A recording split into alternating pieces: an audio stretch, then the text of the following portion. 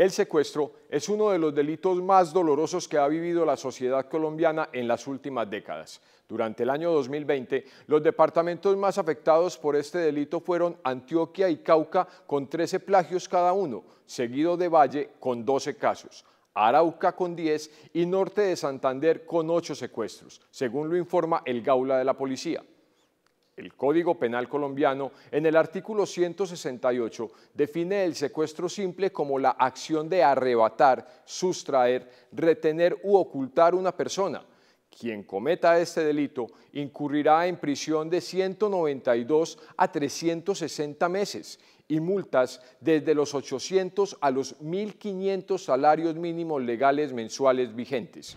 Noticias Telemedellín informó en días pasados sobre el secuestro de un joven que departía en un establecimiento público de la ciudad.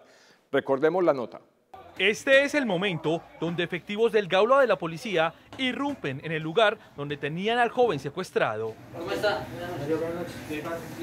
La rápida acción de los uniformados logró la liberación inmediata del hombre de 22 años que estaba retenido en un establecimiento de comercio que funciona como bar en un reconocido sector de la ciudad. Se da con la ubicación del lugar de donde mantenían secuestrado al joven, que corresponde a un bar hostal en el sector de Laureles, en la 33 más exactamente, donde llegan efectivos del Gaula y liberan a este joven de aproximadamente 22 años de edad.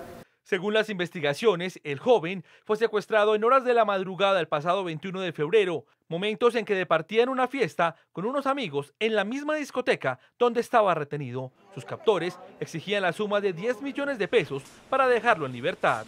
Estamos ahondando en la investigación.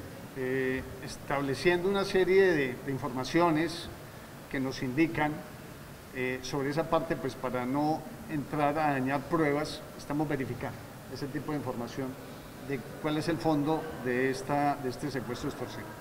Con ayuda de la policía en un centro comercial del occidente de Medellín, se pactó el pago de la exigencia económica, lugar hasta donde llegaron cuatro sujetos. Allí, luego de la implementación de un plan entrega, fueron capturados estos presuntos delincuentes. Se establece unos controles en tiempo récord con los investigadores del Gaula y se cumple una cita en donde los plagiarios negocian 10 millones de pesos por la liberación de este joven con familiares de la víctima.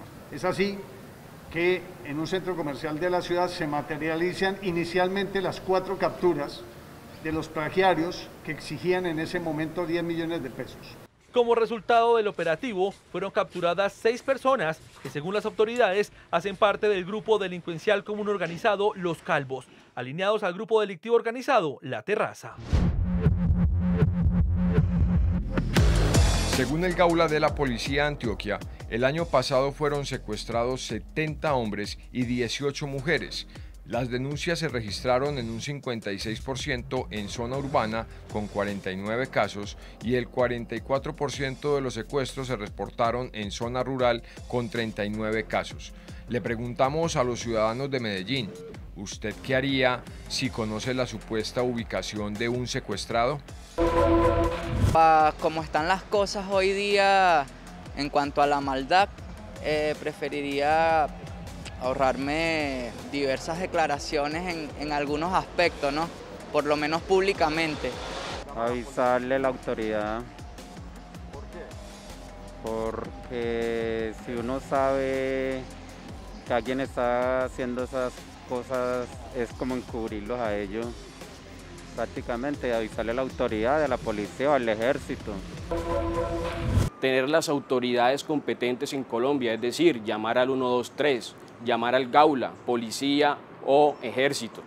Tener en cuenta todas esas situaciones y no incurrir en una omisión que sería un delito penal. El Código Penal colombiano, en su artículo 441, es explícito al decir que quien oculte información de un delito puede enfrentar penas que van desde los 3 y hasta los 8 años de prisión. La línea 165 es la primera opción que debemos tener a la mano para no incurrir en un delito de omisión de denuncia. El GAULA es el Grupo de Acción Unificada para la Libertad Personal, es un grupo especializado de la Policía Nacional que se centra su, actuar eh, en dos delitos eh, que afectan la libertad de las personas. El delito del secuestro y el delito de la extorsión son dos delitos que se presentan y que afectan realmente a la sociedad. El llamado que nosotros hacemos a todos los habitantes de Medellín y del área metropolitana es a que ante cualquier situación que se den cuenta de ellos, tanto de secuestro como de extorsión, se comuniquen de manera inmediata con la línea 165 del Gauro de la Policía. Como lo decía, esta línea no es solamente una línea en la que yo pongo a llamo a denunciar hechos en primera persona o que, de los cuales yo esté siendo víctima. También es una línea que sirve para denunciar de manera anónima aquellos hechos que están presentándose en mi barrio, en mi jurisdicción, en mi comuna. Tranquilo, tranquilo. Bienvenido a la libertad. Tranquilo, tranquilo, tranquilo. Según las autoridades, las personas allegadas a las familias son regularmente quienes están detrás de este tipo de delitos, pues encuentran en las redes sociales de las víctimas gran cantidad de información personal. Es muy importante que si usted conoce que una persona se extravía, no se encuentra, se aleja del grupo, debe de llamar a la Policía Nacional, Ejército Gaula, 123 y demás autoridades competentes que para usted crean el momento.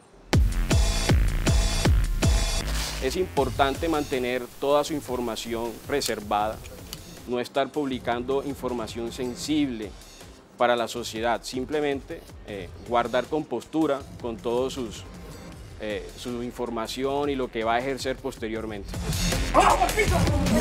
Tranquilo, tranquilo. Ser precavidos es la mejor opción cuando nos referimos a este tipo de delitos. Por esta razón, tenga presente las siguientes recomendaciones para su día a día. Cambie sus rutinas diarias.